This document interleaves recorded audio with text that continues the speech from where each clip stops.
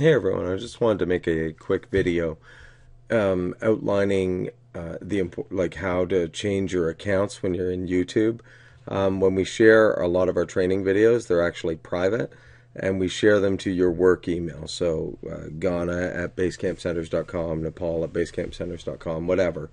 Um, and so when you're using YouTube, you have to make sure that you've set your account uh, and so um, uh, to use your work account. So if you see here in the upper right hand corner, there's this icon.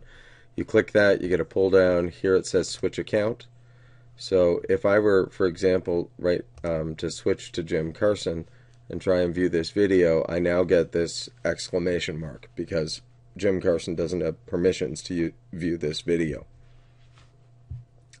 Um, but if I were to change back to Volunteer Base Camp, I can now view the video.